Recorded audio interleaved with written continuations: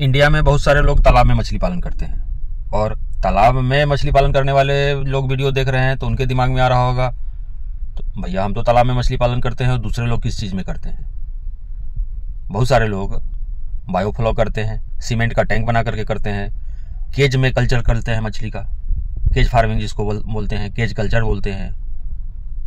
Are system से बहुत सारे लोग करते हैं। दोस्तों स्वागत करते हैं अपने YouTube channel fish farming and seeds पर। मेरा नाम बबलू सिंह, बिहार हाजीपुर के रहने वाले।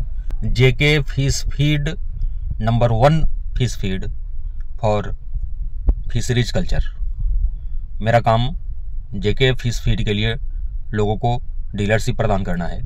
मेरा बच्चे का काम कोलकाता नेहाटी में होता है और मेरा मेडिसिन का भी काम है। चाहे आपका केज कल्चर हो या फिर पौंड कल्चर हो आप किसी भी तरह के कल्चर, चाहे बायोफ्लो कर रहे हो, सीमेंट टैंक में कर रहे हो, किसी भी तरह के कल्चर के लिए आप हमसे दाना मंगवा सकते हैं, हमसे मछली के बच्चे मंगवा सकते हैं। अगर मछली में किसी तरह का बीमारी लगा हो, उसके लिए आप दिए हुए नंबर पे कॉल करके मेडिसिन मंगवा सकते हैं। तो जैसा कि हम बात कर रहे थे, शुरू में हम आपको बताए, अपने इंडिया में बहुत सारे लोग तालाब में ही मछली पालन करते हैं और उनको करना भी चाहिए। ऐसा नहीं है कि सिर्फ़ तालाब है में ही मछली पालन हो रहा है अपने देश में। बहुत सारे सफल लोग हैं जो केज में कल्चर करके सफल हो रहे हैं। बहुत सारे लोग ऐसे भी हैं जो आरएएस सिस्टम से मछली पालन कर रहे हैं, लेकिन थोड़ा सा उनका क्रेज अभी कम हुआ है। बहुत सारे लोग बायोफ्लॉक में मछली पालन करते हैं, सीमेंट टैंक में भी करते हैं। कुछ लोग तो ऐसे हैं जो कुएँ में मछली पालन करने के लिए भी हमसे सीड के लिए बात करते हैं। तो हम आपको बताना चाहते हैं कि कौन सा फ़ार्मिंग आप करते हैं और किस तरह से करते हैं, किसमें आपको लाभ होने वाला है। बहुत सारे लोग हमसे बच्चे के लिए बोलते हैं और पूछते हैं, सलाह लेते हैं कि क्या हम अपने छत पे एक टंकी बनवा करके मछली पालन कर सकते हैं। बहुत सारे लोग ऐसे भी हैं जो पानी का जो टंकी होता है सिंटेक्स वाला, उसमें भी चाहते हैं कि हम मछली का पालन कर लें। वो ऐसे लोगों से हम बताना चाहेंगे कि मछली पालन जितना आसान आप समझ रहे हैं, उस तरह का आसान चीज़ है नहीं। जो लोग भी कमर्शियल पॉइंट ऑफ़ व्यू से मछली पालन करना चाहते हैं, इस व्यवसाय में कुछ कमाना चाहते हैं तो उनके लिए सबसे बेहतरीन तरीका मिट्टी वाली तालाब में मछली पालन करना होता है।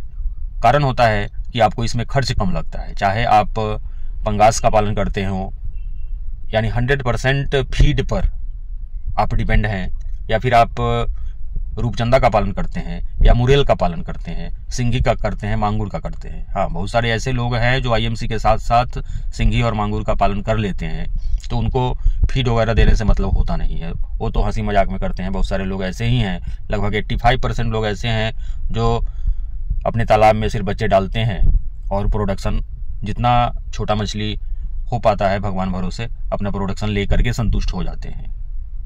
तो वैसे लोगों के लिए हम नहीं, जो कमर्शियल पॉइंट ऑफ़ व्यू से जो पैसा कमाना चाहते हैं इस व्यवसाय में, उनके लिए हम बताना चाहेंगे कि अगर आप केज कल्चर करते हैं तो इसमें पैसा तो आता है ट्रांजेक्शन जल्दी जल्दी होता है, लेकिन लागत आपको ज़्यादा लगाना पड़ता है। अगर आप आर सिस्टम में करते हैं तो बहुत सारे लोग तो आर सिस्टम वाले फेल्योर हो रहे हैं बायोफ्लॉक वाले भी फेल्योर हो रहे हैं। और जहाँ तक हम बात करें कि सीमेंट टैंक बना करके तो वे लोग भी असफल हो रहे हैं। हम इसका एडवाइस नहीं देंगे कि आप, बहुत सारे लोग का कॉल आता है कि सीमेंट टैंक में, जैसा कि हम बताए आपको। तो सीमेंट टैंक में मछली पालने का सलाह हम नहीं देंगे। उसमें आप, नुकसान में चले जाएँगे।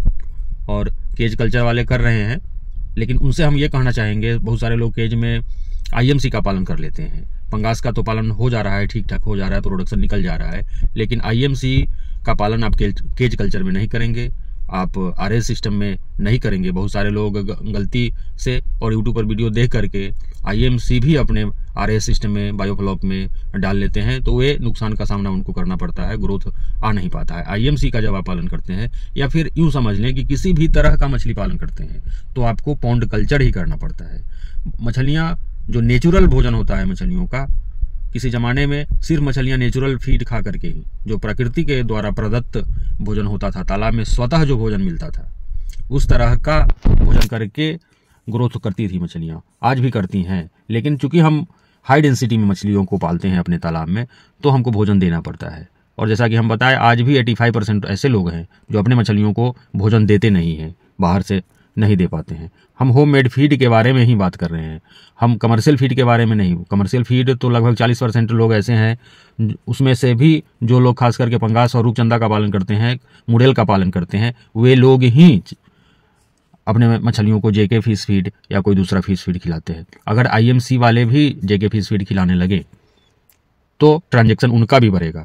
ग्रोथ जल्दी आएगा। हाँ बहुत सारे लोगों को यह पता नहीं है कि आईएमसी में जो ऊपरी लेयर की मछलियाँ हैं, जैसे कतला, जिसको भाकुर के नाम से आप जानते हैं, सिल्वर कार्प, या फिर आपका बिग हेड ये तीन मछली आपकी कमर्शियल फ़ीड नहीं खा पाती है। तो इसके लिए तालाब में आपको नेचुरल फ़ीड डालना पड़ेगा, जिसे आपके तालाब में नेचुरल तरीके से, या फिर आर्टिफिशियल तरीके से भी प्लिंगटन का निर्माण होते रहे। और आर्टिफिशियल तरीके से प्लिंगटन का निर्माण करने का मतलब है कि आप, हमारे कंपनी का एक प्लिंगटल पाउडर भी आता है। ये पाँच के का बैग सत्रह सौ रुपये में हम कहीं भी अपने देश के किसी भी कोने से आप कॉल करते हैं, वहाँ तक हम भेजते हैं। और जब आप आईएमसी के लिए होम मेड फ़ीड बनाते हैं, जिसमें गाय का गोबर हम बार बार वीडियो में दोहराते हैं तो आप सिर्फ़ गाय का गोबर, सरसों की खली, राइस ब्रांड, यूरिया एसएसपी ये सब ही डाल करके संतुष्ट नहीं होना है आपको। उसमें ईस्ट पाउडर आपको एकदम से मिलाना ही पड़ेगा, आपको मिनरल मिक्सर उसमें मिलाना ही पड़ेगा। महीने में एक बार, तालाब में कम से कम महीने में एक बार प्रोबायोटिक्स का प्रयोग करना ही पड़ेगा। इन सारे बिंदुओं पर आप 100 परसेंट ध्यान देंगे तो आपका पौंड कल्चर भी सफल होगा। नहीं तो यही होगा। बच्चे डालेंगे, आधी चीज़ों का प्रयोग करेंगे, आधी चीज़ों का प्रयोग नहीं करेंगे। तो जिस तरह का आपको फ़ायदा होना चाहिए, उस तरह का फ़ायदा हो नहीं पाएगा। दिए हुए नंबर पे अगर आपको मेडिसिन चाहिए होगा, जो स्क्रीन पर नंबर दिखाई दे रहा है, बच्चे चाहिए होंगे, या फिर जेके फ़ीस फ़ीड का डीलरशिप या स्वयं के खिलाने के लिए जेके फ़ीस फ़ीड चाहिए होगा तो कॉल करिएगा। बहुत बहुत धन्यवाद।